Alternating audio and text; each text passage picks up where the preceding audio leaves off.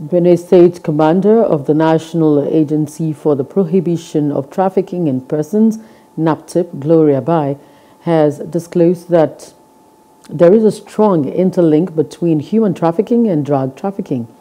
Bai cautioned against the lack of attention given to the menaces done with other crimes. At the same event to mark World Drug Day, the state commander of NDLEA, Lami Musa, assured Benue residents of the agency's commit commitment in eradicating illicit drugs in the state. Drug abuse and drug uh, trafficking are major problems affecting every aspect of life.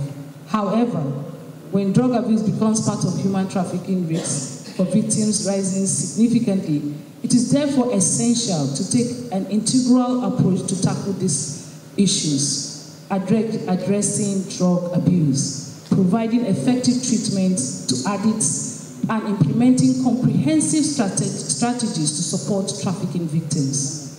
The NDLA and other law enforcement organizations of the like nature must tighten their control over the manufacture and trafficking of illegal drugs. The theme of this year's celebration is People First. Stop stigmatization stigmatization and discrimination, strengthen prevention.